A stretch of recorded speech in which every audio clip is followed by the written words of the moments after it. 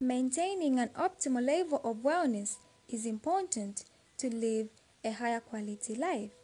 Wellness matters because everything we do and every emotion we feel relates to our well-being. Wellness is more than being free from illness. It is a dynamic process of change and growth.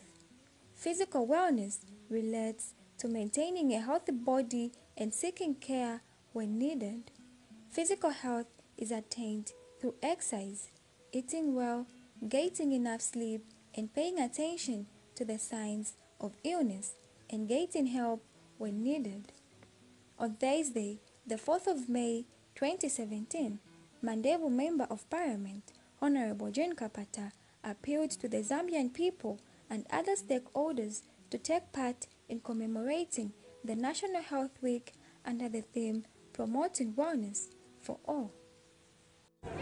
It is absolutely important that every Zambian across all all walks of life, stakeholders, line ministries, non-governmental organizations, the civil society, the faith-based organization, the private sector, and all the leaders at different levels participate fully in the National Health Week and beyond.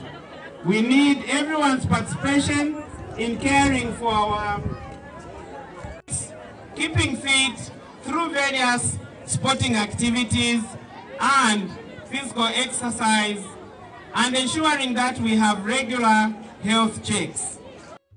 She also encouraged the members of the community to live in harmony with the earth by taking action to protect it. Collective responsibility towards the environment, which we are doing today, focusing on hygiene, access to clean and safe water, adequate sanitation, garbage collection, climate change prevention, mitigation, and resilience, workplace and institutional wellness. An active process of becoming aware of and making choices toward a healthy and fulfilling life can only be attainable if members of the community work hand in hand. Reporting from Mama Sosa and Beatrice Ngoma in Chaisa, Mandevu constituency.